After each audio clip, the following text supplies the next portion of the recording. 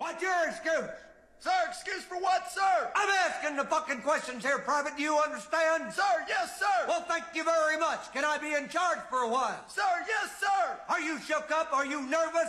Sir, I am, sir. Do I make you nervous? Sir. Sir, what? Are you about to call me an asshole? Sir, no, sir. How tall are you, Private? Sir, five foot nine, sir. Five foot nine. I didn't know they stacked shit that high.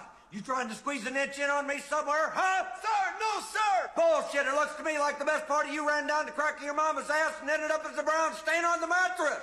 I think you've been cheated. Where in hell are you from anyway, Private? Sir, Texas, sir. Holy dog shit. Texas only steers and queers come from Texas, Private Cowboy. And you don't much look like a steer to me, so that kind of narrows it down. Do you suck dicks? Sir, no, sir. Are you a Peter Puffer? Sir, no, sir. I'll bet you're the kind of guy that would fuck a person in the ass and not even have the goddamn common courtesy to give him a reach around. I'll be watching you.